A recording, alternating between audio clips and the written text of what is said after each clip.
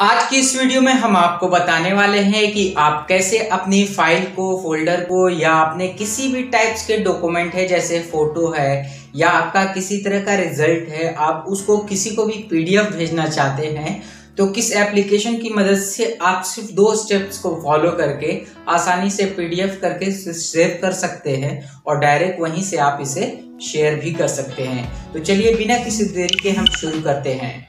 तो play store से हम एक एप्लीकेशन डाउनलोड करेंगे, जिसका नाम है इमेज टू पीडीएफ कन्वर्टर जिसका लिंक मैंने आपको डिस्क्रिप्शन में दे दिया है। यहाँ से हम क्या करेंगे, इसे ओपन करेंगे।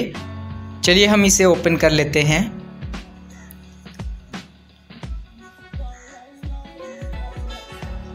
यहाँ पे दोस्तों दो आइकन बना हुआ है, एक गैलरी का, एक फोल्डर का। यहाँ से आप क्या करेंगे गैलरी वाले ऑप्शन पर क्लिक करेंगे।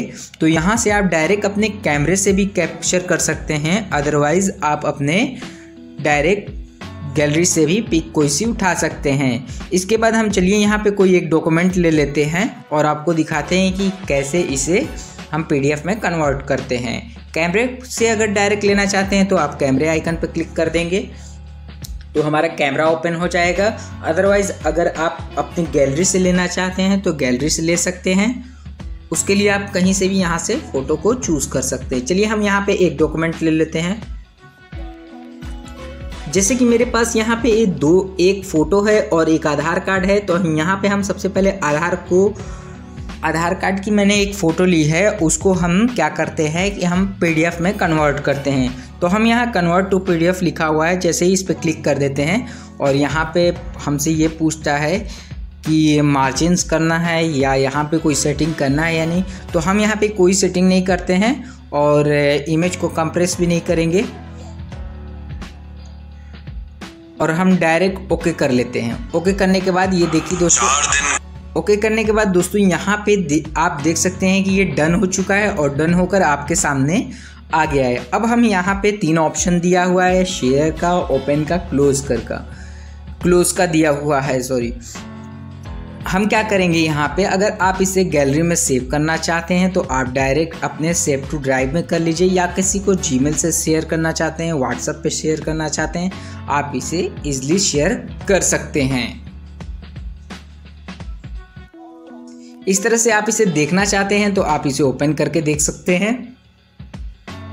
इस तरह से आप गैलरी में अगर सेव करना चाहते हैं तो यहाँ पर लास्ट में जो आइकन दिया हुआ है यहाँ क्लिक करेंगे और सेव करने के बाद आप इसे सेव पे क्लिक कर देंगे तो आसानी से ये सेव हो जाएगा। इस तरह से आप किसी भी डॉक्यूमेंट को आप चाहते हैं फिर से करना तो आप फिर से बैक आएँगे। बैक आने के बाद फ़ोटो आप सिलेक्ट करेंगे। फ़ोटो को भी सिलेक्ट करने के बाद दोस्तों यहाँ पे आप इसे ओके करेंगे और पीडीएफ देखिए कन्वर्ट यहाँ से ये कन्वर्ट हो चुका है। उसके बाद देखिए दोस्तों, यहाँ पे आ चुका है। इसे हम ओपन कर लेंगे। ओपन करके आपको दिखा देते हैं। यहाँ पे देखिए दोस्तों, यहाँ पे आधार कार्ड और नाम दोनों ही आपका पीडीएफ में चेंज हो चुका है। आप इसे चाहें तो यहाँ पे थ्री डॉट करके आप इसे सेंड कर सकते हैं।